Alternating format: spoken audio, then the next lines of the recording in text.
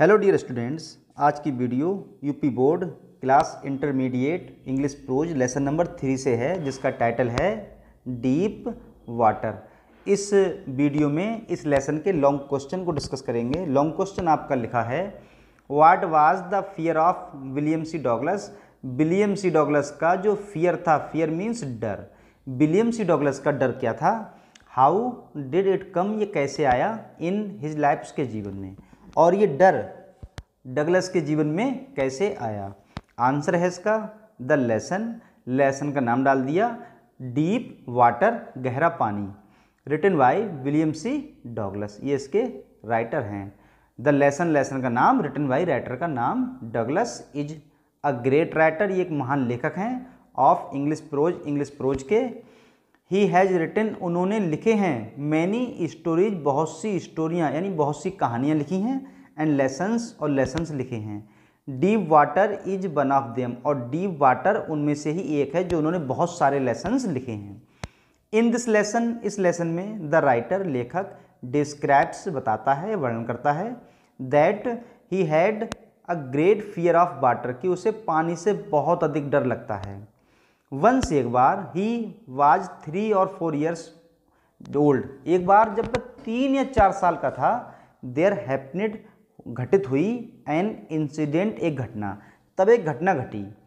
Eight California बीच California की बीच पर बीच means झील कह सकते हैं।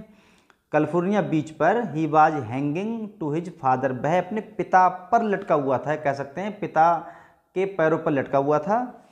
वेन जब द वेव्स नॉक नॉक होता धक्का देना हिम उसे डाउन नीचे, तभी पानी की जो लहरें थी, उन्होंने उसे नीचे की ओर धक्का दिया मतलब ऊपर से पानी की लहर आई, उसे नीचे गिरा दिया एंड स्वेप डाउन और उसे बहा दिया स्वेप्ट होता है, बहा दिया डाउन नीचे की ओर ही बरीड वह दब गया, वैसे बरीड का मतलब होता है, दफनाना, इसका मतलब होता है दफनाना तो वह दब गया, दफना हो गया या दफन हो गया या दब गया इनटू द वाटर वह पानी के नीचे चला गया। बट लेकिन नथिंग सीरियस हैपनेड कुछ भी सीरियस घटना नहीं घटी। उसके बाद में ये तो थी पहली घटना। उसके बाद आगे। सेकेंड सेकेंडली और दूसरी घटना क्या थी?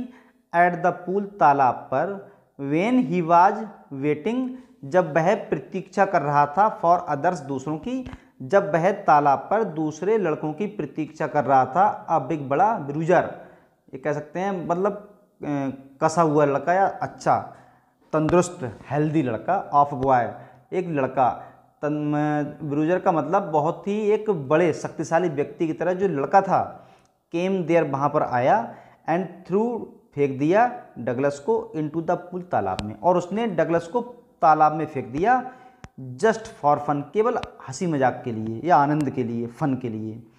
एट दैट टाइम उस समय ही डिड नॉट नो वह नहीं जानता था हाउ टू स्विम तैरना।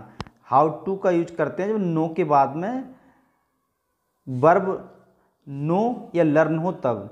तो अब बॉय लड़का नॉट हाउ टू स्विम तब वह नहीं जानता था। At that time he did not know उस समय वह नहीं जानता था हाउ टू स्विम कैसे तैरते हैं या उस समय वह तैरना नहीं जानता था। हार्डली मुश्किल से ही समबडी किसी ने सेव्ड हिज लाइफ मुश्किल से ही किसी ने उसके जीवन को बचाया।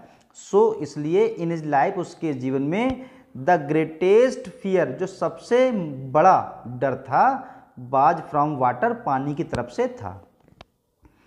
डगलस ने डिसाइडेड निश्चय कर लिया दैट ही वुड लर्न कि वह सीखेगा हाउ टू स्विम तैरना। तभी डगलस ने निश्चय कर लिया कि वह तैरना सीखेगा।